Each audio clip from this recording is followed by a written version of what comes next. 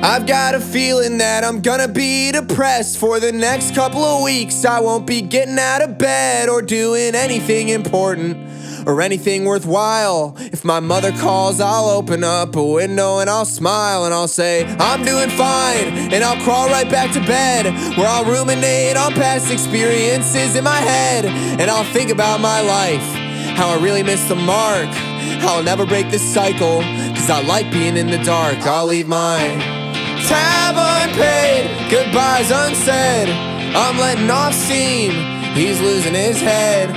Sold my car, put it all on red. Stay up all night, I'll sleep when I'm dead.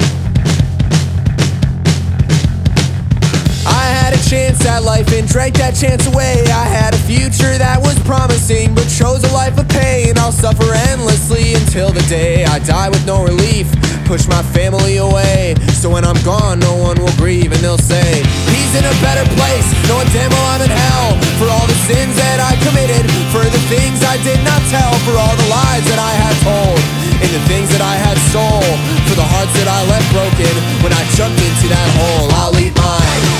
Tab unpaid, goodbyes unsaid. I'm letting off steam,